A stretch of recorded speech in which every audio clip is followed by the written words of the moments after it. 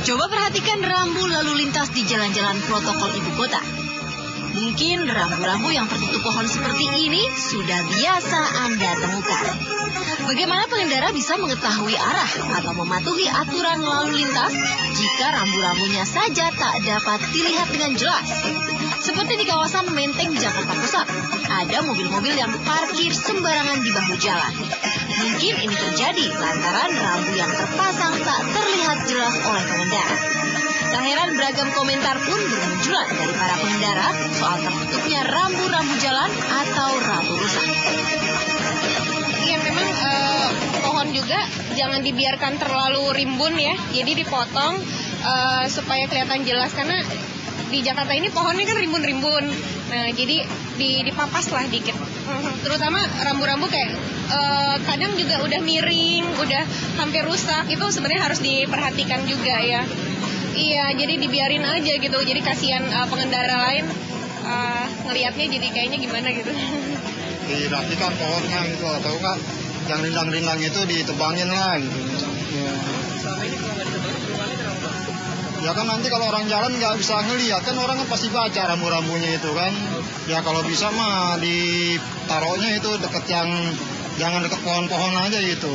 Jadi kan kelihatan orang mengenara juga kan kadang-kadang kan orang nggak tahu jalan kan bisa ngeliat gitu. Lalu bagaimana pemeliharaan pohon-pohon pinggir jalan ibu kota agar tidak menutupi rambu jalan? Jadi kita secara terus-menerus berkeliling-keliling ya secara teratur gitu untuk memangkas atau istilah kita menoping uh, dahan-dahan tersebut sehingga dia tidak hanya tidak menutupi rambu tapi juga tidak menutupi uh, utilitas-utilitas kota lainnya. Namun demikian uh, kita akui bahwa kadang-kadang kecepatan kita menoping itu agak tertinggal. Jadi walaupun kita sudah sudah pernah menoping pada titik itu, nah, namun berikutnya kita tertinggal dia sudah tertutupi kembali.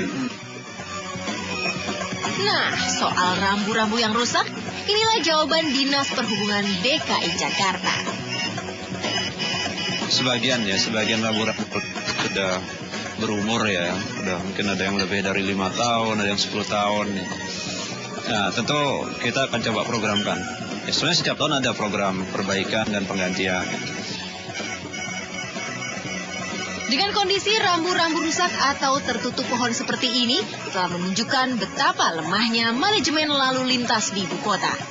Jadi bukan hanya soal mengurai kemacetan lalu lintas, sekedar merawat rambu-rambu jalan saja nyata masih jadi PR besar bagi pemerintah DKI Jakarta.